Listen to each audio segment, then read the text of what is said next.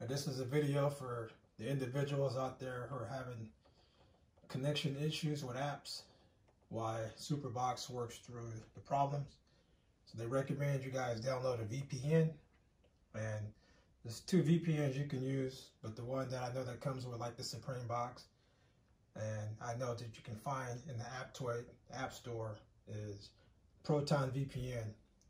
It will require you to use your desktop computer or even the mobile device desktop version so you can go through and sync the Superbox to the account that you generate on the desktop version.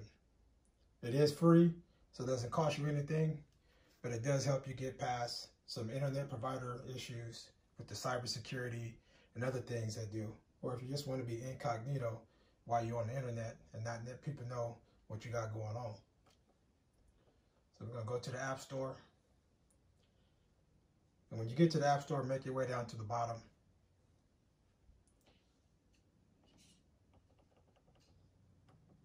Download the app.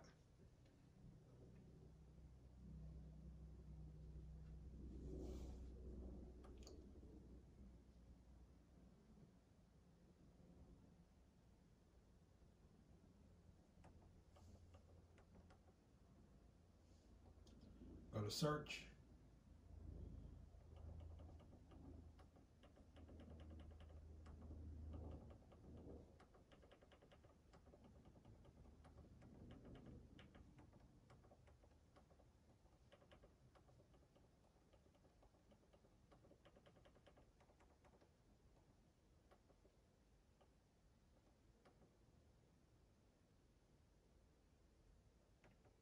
You want to select this one there, Proton VPN. Install it.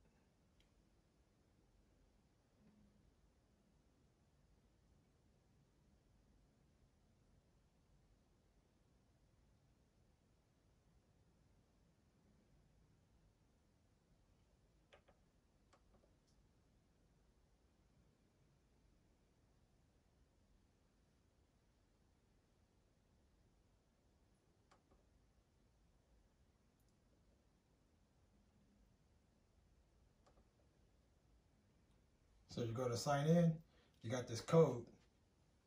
So you got this code it's telling you to do. You go TV on your mobile device or computer, sign in to VPN with the Proton, enter the code, and you're good to go. Use your own email if you want to, or you can use uh, dummy email, it doesn't matter.